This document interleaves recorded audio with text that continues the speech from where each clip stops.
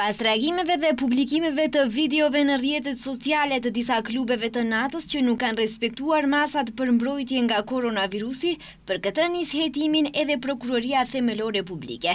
Prokuroria Themelore Publike Prilep ka formuar lëndë në bazë të zërave në opinion kundër një objekti hotelierik në Prilep, i cili më tetëmbëdhjetë korrik ka organizuar festë në të cilën kanë marrë pjesë numër i madh vizitorësh, Sipas njoftimit të tyre, festa është organizuar në kundërshtim me rregulloret dhe masat mbrojtëse në kushte të pandemisë së shpallur për shkak të Covidit nëntëmbëdhjetë.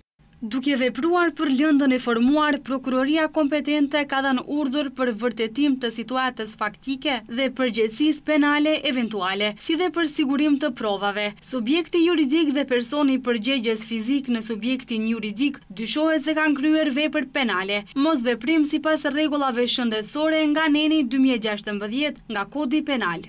Ministri i Shëndetësisë Venko Filipçe një ditë më parë pas videove të publikuara në rrjetet sociale ku shiheshin se si në Strumicë dhe në vende tjera janë organizuar ahingje pa u respektuar asnjë protokoll, kërkoi që me urgjencë institucionet përgjegjëse MPB dhe inspektoratet të zbatojnë hetime dhe të sanksionojnë tubimet e tilla në mënyrë të palejuar. Filipçe shtoi se është kyçe respektimi i masave për t'u penguar përhapja e virusit dhe siguroi se çdo mosrespektim i masave do të sanksionohet në mënyrë adekuate.